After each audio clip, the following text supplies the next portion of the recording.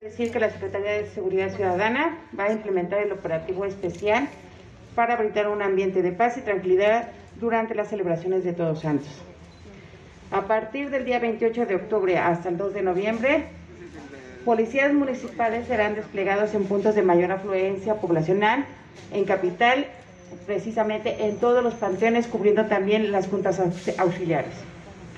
Participará personal adscrito a las 10 zonas operativas, grupos especiales y habrá colaboración también con la Guardia Nacional. Tendremos la intervención también de la Dirección de Inteligencia y Política Criminal con el propósito de inhibir la comisión de conductas delictivas y faltas administrativas. Como parte de las acciones, se llevará a cabo patrullajes focalizados, labores de prevención de delito y proximidad social.